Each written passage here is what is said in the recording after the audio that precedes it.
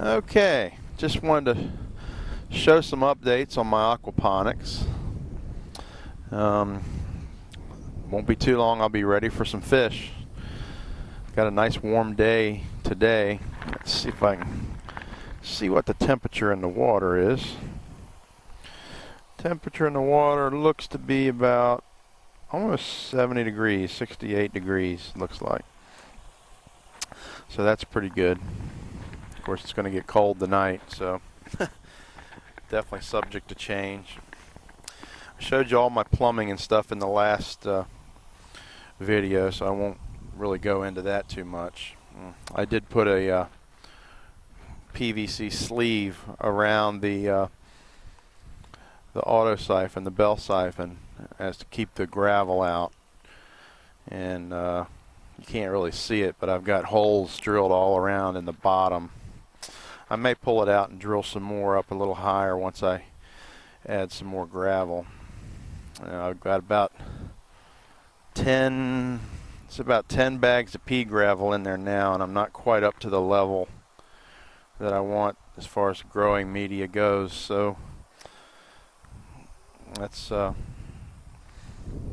going to mean another trip to Lowe's. got my pipe, the uh, water feeding in and I had to add some better support.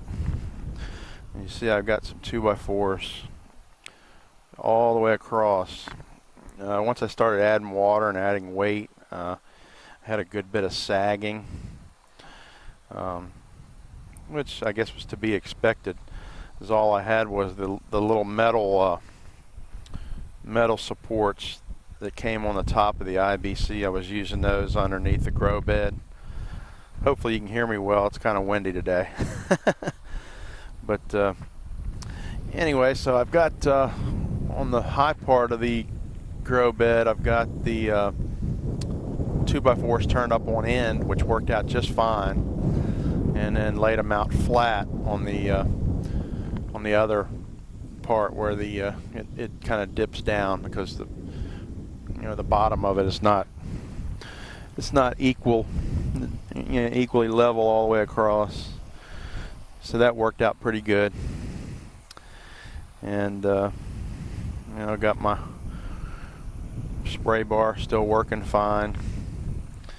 And uh, I built a little foundation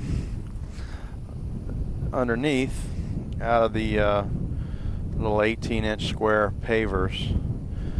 I put plastic under it and leveled them all up it's going to make a nice uh, a nice pad. So there's the overall pr project, fairly close to completion. And uh, I did dump the water out of it, uh, trying to flush all the dirt out of the uh, gravel. And I think I got them fairly clean. So anyway, there's the bucket. You can see the bucket down there. I got drilled holes in it. That's what I use to uh, try to clean all the sand out of the uh, gravel before I put it in the grow bed.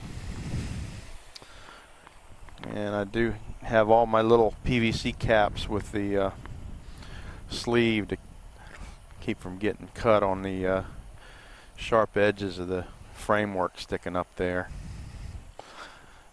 And uh, that came out pretty good uh, all in all, everything's going going well. Once I take another trip to Lowe's and get about five more uh, bags of gravel, I'll be good to go. You see the water going in, filling up the grow bed there.